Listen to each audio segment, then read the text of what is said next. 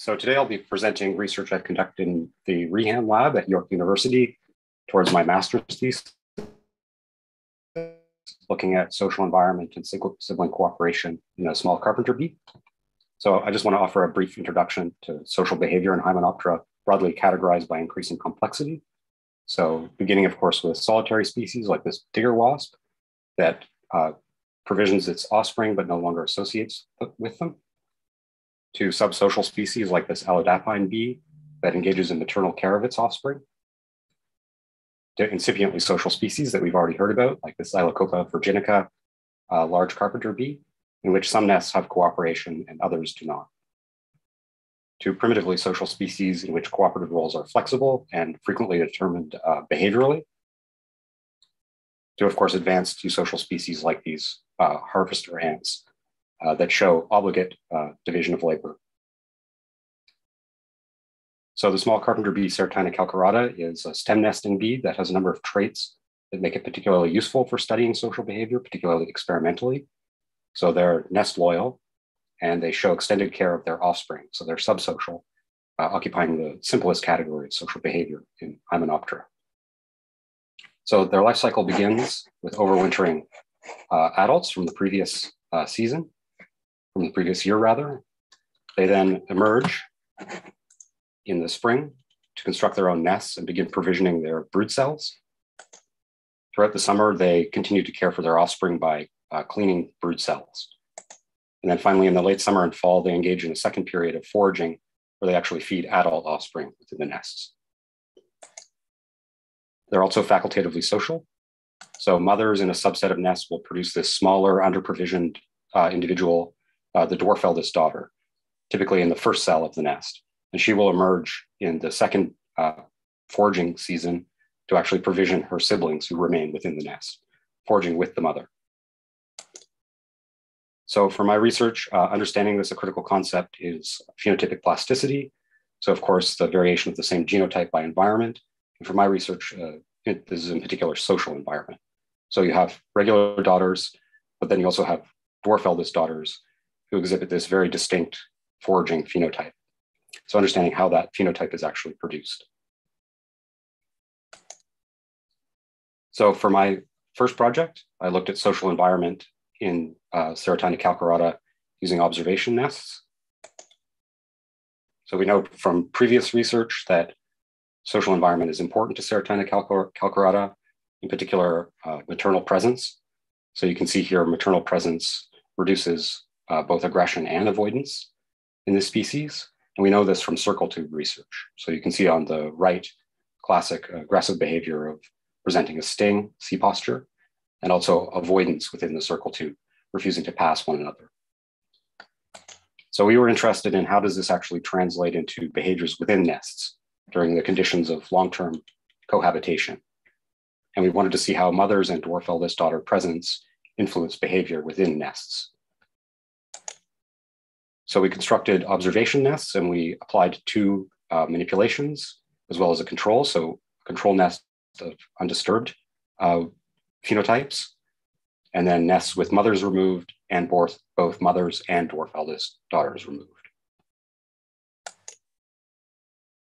So wild nests were uh, collected from artificial nests uh, established in the wild, and they were mounted in dark boxes so that they could be filmed.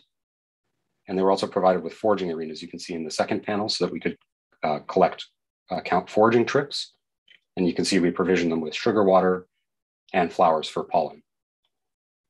The interior nests were longitudinally opened and a plastic shield was applied to them. And the interiors of the nests were filmed using an infrared camera. So in total, we had 35 nests with 13 control, 13 with mothers removed, and nine with both mothers and dwarf eldest daughters removed and we filmed them during the late social cohabitation period in uh, August, in uh, July and August, for a cumulative 679 observation periods of 50 minutes. So we then scored behaviors using a previous ethogram, and we also found a number of novel behaviors that were individual. And we used previous research to categorize these behaviors into five categories. So individual behaviors, aggressive behaviors, avoidant, following, and tolerant behaviors.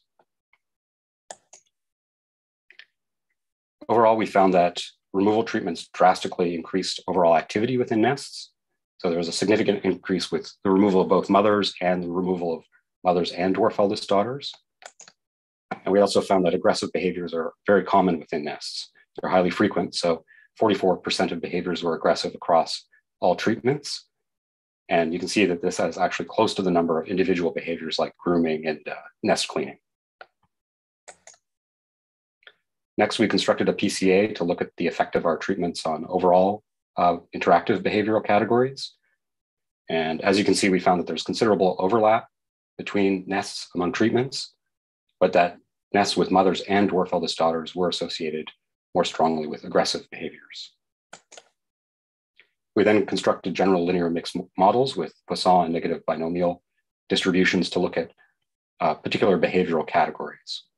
And we found that aggressive behaviors increase under removal treatments, but only significantly so when mothers and dwarf eldest daughters were removed. And we also found that tolerant behaviors increased as well under both removal treatments. And we found no difference in avoidant and following behaviors between treatments. We also found that foraging was the lowest in the absence just of mothers. So it appears that when you remove mothers and dwarf eldest daughters, regular daughters do engage in some foraging on their own. So our key findings were that activity in nest increases dramatically uh, under removal treatment. So mothers may be producing some sort of social hierarchy that reduces overall interaction within the nest. We also found that DEDs do moderate aggression somewhat within nests, and that daughters are more tolerant in the absence of mothers and DED. So they're interacting more in a tolerant fashion, possibly to negotiate uh, foraging roles. And we also know that they do, in fact, do this. They take on a foraging role on their own when they're not being fed by a mother or dwarf eldest daughter. So for the second section of my research, I looked at behavioral genetics of cooperation in Ceratina calcarata. So I looked at the system in the wild. So we know from previous research from Michael Mikát that dwarf eldest daughters act as alloparents. So they actually forage with the mothers. So you can see during this uh, early period, June and July, mothers are provisioning their nests. But then in August and September, dwarf eldest daughters emerge to forage alongside the mother. And we know that this happens more often in nests that have been orphaned. So social environment is important to this foraging behavior. So once again, I was interested in how is this phenotypic plasticity produced? Why is the dwarf eldest daughter so different from her siblings? So I looked at the effect of uh, DED presence and mother's presence on regular daughters and dwarf eldest daughters, and the effect of DEDs on siblings. So to do this, I created four plots of artificial nests with 30 fo focal nests at each plot at two sites. So for a total of 240 artificial nests. And using cup traps, I marked foraging individuals with an enamel pen as they left to forage in the morning. I identified mothers by wing wear, since they were uh, they've been working from the previous year and in the early part of the summer. And I identified dwarf eldest daughters by their relatively smaller head size relative to mothers and siblings. So we attended nests daily from 8 a.m. when foraging uh, begins at its earliest to 4 p.m. at two blocks per day throughout August.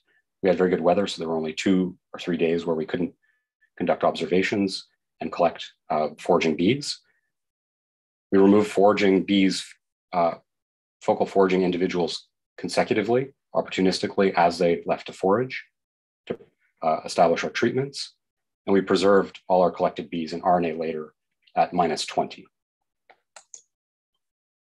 So 103 focal bees were collected, and then 14 of these were selected for sequencing after uh, being uh, having whole heads extracted for RNA and establishing their phenotype, whether or not they were in a nest with a mother absent or present. And they were sequenced using a 150 base paired end reads using an Illumina NovaSeq 6000 at a minimum of 50 megabases depth. So in total, we had uh, zero mother removed ordinary daughters and three mother removed dwarf eldest daughters, a control of ordinary daughters who foraged with the mother's presence. We had five mothers in total and three dwarf eldest daughters with mothers present. So to get an overall picture of differences in gene expression among these groups, we conducted a PCA of gene expression. And as you can see here, there's considerable variation among samples, but uh, mothers in the gray did overlap somewhat with control daughters, with mothers present. And we found that dwarf eldest daughters with mothers absent had this variation where one sample overlapped, but the other two were distinct. And of course, regular daughters appeared to be highly distinct, clustering together uh, very strongly. Looking across the next four PCAs, we found that regular daughters and mothers were highly associated and dwarf eldest daughters and uh, control, under control and removal treatments were similar as well. So next I used DESeq2 to conduct an analysis of differentially exp expressed genes among these groups. And we found that they were highly distinct. Regular daughters had the largest complement of distinct genes, followed by mothers, then dwarf eldest daughters with mother removed, and then controlled DEDs. So this is an illustrative subset of genes and GO terms uh, for GO enrichment among these differentially expressed genes. So in mothers, we found uh, that their genes were enriched for generation of precursor metabolites and energy electron transport chains, as well as methylation. In the control dwarf eldest daughters, we found that they were enriched for RNA-dependent DNA biosynthetic processes, DNA metabolic processes, and DNA biosynthetic processes. So a lot of DNA. Mothers were associated with transmembrane transport, cation transport, carboxylic acid, and metabolic process, uh, carboxylic acid metabolic process. And we found that regular daughters were enriched for cellular protein metabolic process, carbohydrate metabolic process, and macromolecule modification. Next, we performed a weighted gene co-expression network analysis to look at how genes were co-expressed in modules among our different groups. So we found that among mothers, these there was a module, there were modules with that were enriched for response to nutrient levels, as well as, CGMP biosynthetic process. We found that DEDs with mother removed were enriched for response to external stimulus, response to light stimulus, and negative regulation of peptide hormones. DEDs with mother present were negatively associated with a module enriched for circadian and sleep uh, circadian sleep wake cycle, as well as mating behavior and sex discrimination. And finally, regular daughters were enriched for sensory perception of smell, positive regulation of insulin receptor, and sensory perception of taste. So our conclusion was that from this was that social environment does have a significant impact on gene expression. And this includes key developmental hormones and pheromones, including PBAN and ecdysteroid. And we found that there were also genes associated with possible uh, processes of circadian rhythms, as well as response to temperature that were differentially expressed, particularly among uh, between dwarf eldest daughters with mothers removed and mothers present. Finally, uh, to summarize, social environment does play a critical role in mutual tolerance and cooperation. We saw uh, significant effects in, on behavior and gene expression, we found that cooperative behavior is also highly flexible. So regular daughters will take on a foraging role. And finally, we found that gene expression is influenced by social environment. So for future directions, I'd like to take this in. I'd like to understand the influence of nutrition alone on brain gene expression uh, before any social behaviors have emerged between adults, before uh, adult closure. And I'd also like to establish how flexible cooperative roles are negotiated among size match individuals and expand this study to uh, compare with closely related species of Ceratina who are solitary. So with that, I'd like to thank the entire Rehan lab. Uh, all of this work was very cooperative, was very collaborative, and I got a lot of help from everyone in the lab. And I'd also like to thank all of our funders. Okay, go ahead, Kurt. Yeah, hi, excellent talk. Um, I'm not sure I'm going to get this out right, but in your first set of experiments, you had three treatment groups uh, where you removed the mother and you removed both the mother and the the small daughter, smallest eldest daughter. I'm curious why you didn't have a treatment group where you just removed this. The, the there was one more treatment group you didn't have. Yeah, it was purely for sample size uh, based on Oh. the number of nests that we could collect and that survived um, the opening and the the treatments. Okay. So in order to get the sample size, and um, there were quite a few nests that were filmed that didn't uh, survive, and those were not used in the, the data.